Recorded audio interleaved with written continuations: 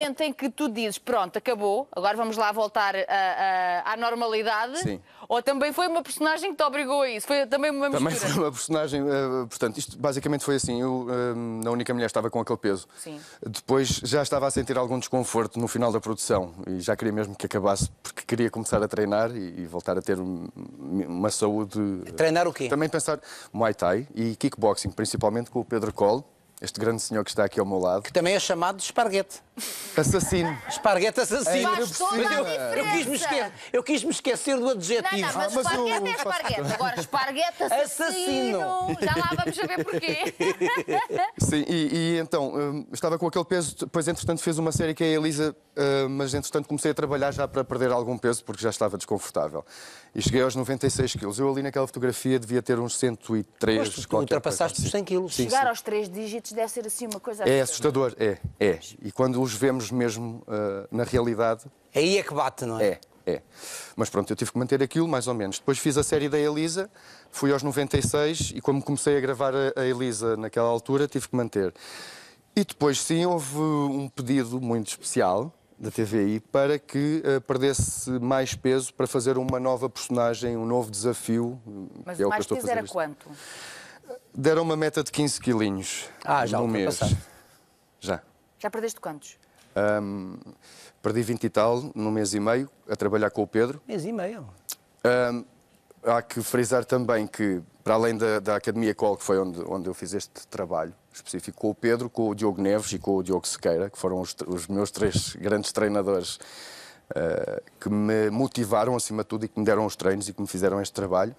Para além deles, ahm, também tive uh, uma- um acompanhamento de nutrição uh, através da NutriBalance, uma nutricionista da NutriBalance que me acompanhou principalmente na fase inicial e a meio do processo para depois alterar ali algumas, uh, algumas coisas da alimentação, mas Ou seja, só o exercício não chegava, não, já tinhas não, que fazer não, dieta a sério. E, sim, e cheguei mesmo a essa conclusão que só o exercício. Eu, eu- eu fiz desporto de alta competição no passado e pensava que com desporto, pronto, podia comer o que quisesse, mas não é bem assim, principalmente numa idade mais avançada, que também é um fator importante. Já, já tenho outra idade, já não tenho Os 21. os 21 nem os 22, portanto o processo já foi muito mais complicado.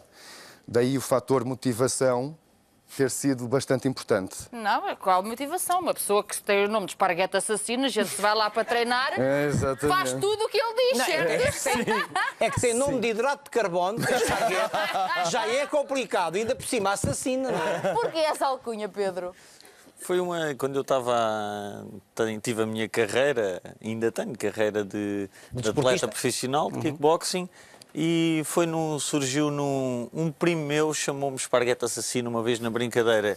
Chamavam-me esparguete. Por ser muito assim fininho. magrinho. Sim. Depois, quando comecei a ganhar muitos combates. Assassino passou não dava hipótese ao- esparguete, esparguete aos adversários, claro. Só que chamou-me um primo meu e de repente comecei a ver em alguns blogs, em alguns jornais e começaram a chamar. E como acham piada, por exemplo, sempre que venho à televisão, esparguete assassino. Vem Vai à sempre. barba, não é? Nós nunca, acho nos, vamos- graça, nunca nos vamos problema esquecer dessa, desse, Tu desse treinas batismo. todos os dias, ô Pedro? Agora já é impossível porque estou a gravar a Pois. novela, mas eh, durante o processo, sim, durante dois meses eh, treinámos todos os dias. Eh, houve uma semana que treinei duas vezes por dia, que era o, meu- era o que eu queria desde o princípio do processo. Mas então já percebemos que o emagrecimento é sempre algo interdisciplinar, tem que ser sempre com complemento de disciplinas. Sempre, sempre. No caso da academia, como é que se consegue o resultado que conseguiu o João Catarré? Uma coisa é a alimentação, depois outra coisa é o exercício, é aquilo que se faz na academia. O que é que fez com o João Ca- Catarré?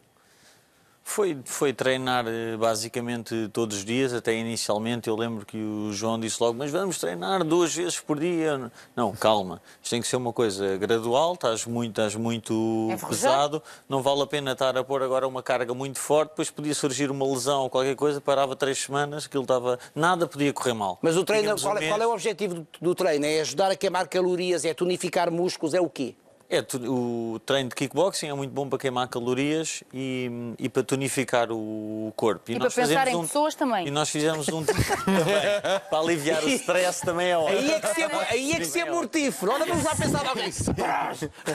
Tem muitos, tem muitos, muitos benefícios. Mas o parte- importante não é cada um de nós encontrar eh, realmente o desporto que o faça apaixonar-se pelo exercício físico. Claro, claro, porque é suposto uma pessoa ter, se uma pessoa não vai com um gosto, é muito Difícil, é muito é? difícil Passa a dar ser o sacrifício. É uma, questão, é uma questão de tempo. Aliás, nem se conseguem resultados, que a pessoa acaba por desistir. É. Pois é isso mesmo.